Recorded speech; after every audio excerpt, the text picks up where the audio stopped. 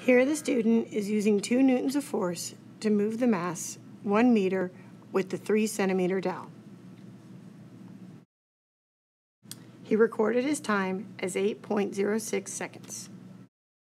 Two joules of work done in 8.06 seconds equals 0.25 watts of power. Here, the student is using two newtons of force to move the mass one meter with the six centimeter dowel. This time, his time was 5.14 seconds. Two joules of work done in 5.14 seconds equals 0.39 watts of power.